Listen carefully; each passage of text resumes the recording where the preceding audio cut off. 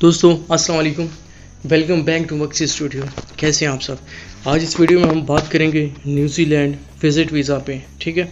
तो दोस्तों वीज़ों के मुतलिक मैंने वीडियोस बनाना इसलिए शुरू किए हैं कि बहुत से दोस्त एजेंटों के हाथों दो नंबर मतलब काम से बहुत ज़्यादा उनका टाइम और पैसा बर्बाद हो रहा था।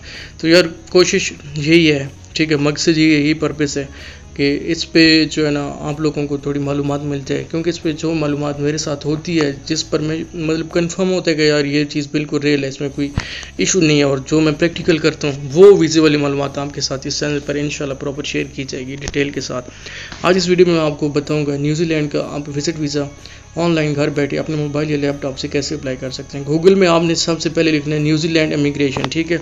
ये बाजू का लिंक टॉप में आते कभी सेकंड टू थ्री नंबर पे आ जाते कल नाइट जब मैं इस पर रिसर्च कर रहा था तो ये लिंक दो नंबर पे आया था और आज इस मैंने चेक किया तो ये लिंक नीचे है, ये वाला लिंक है, ठीक है? इमिग्रेशन ऑफ़ न्यूजीलैंड इस पर मैं क्लिक कर लेता हूँ और आगे का मैं आपको बताता हूँ कि आप कैसे न्यूजीलैंड के वीज़ा घर बैठे ऑनलाइन तो दोस्तों, जैसे मैं न्यूजीलैंड की ऑफिशियल इमिग्रेशन वेबसाइट पर लॉगिन करता हूँ साइन अप करता हूँ। यहाँ पर एक चीज़ आपको बताता हूँ इस वीज़े की कीमत भी इस वीडियो में आपके साथ शेयर करूँगा और ये रिन्यूएबल वीज़ा है, ठीक है? ये आप नौ मंथ तक इस विज़िट वीज़े पे स्टे कर सकते हैं न्यूजीलैंड में, ठीक हो गया? इसकी कीमत मैं आगे चलकर आपको बताऊँगा कि प्रूफ के साथ जो बात होगी, बिल्कुल उसमें कोई टेंशन वाली बात नहीं है भाई वो ठीक है?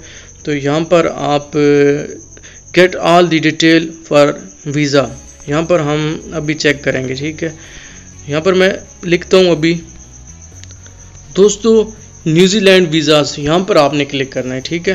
यहाँ पर जैसे आप क्लिक करते हैं तो यहाँ पर जो इंटरफेस है, इस पर आपने जैसे विज़िट या वी आई आगे टैप करेंगे, यहाँ पर वीज़ा की कैटेगरी शो हो जाएगी। यहाँ पर हमें जो विजिटर वीज़ा चाहिए ग्रुप विजिटर वीज़ा यहाँ पर है अडॉप्शन मतलब बिज़नेस विजिटर वीज़ा तो हम इस पे करेंगे विजिटिंग वीज़ा विजिटर वीज़ा ठीक हो गया।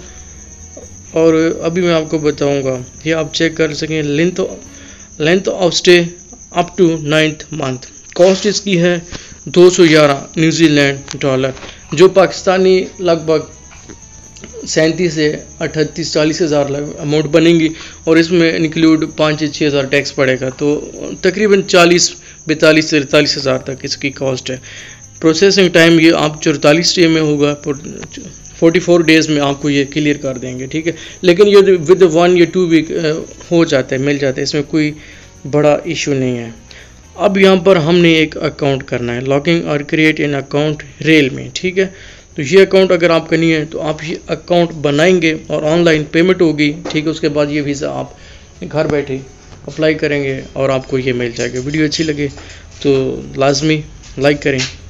इस अकाउंट के मतलब अगर आपको किसी किस्म की कोई दुशारी हो तो आप कमेंट सेक्शन में मुझसे पूछें मैं अलग से आपको इस पर वीडियो बना कर दे दूँगा। अब यहाँ पर इसलिए मैं अकाउंट नहीं बना रहा क्योंकि ये एक अलग चीज़ है इस पर टाइम ज़्यादा लगेगा।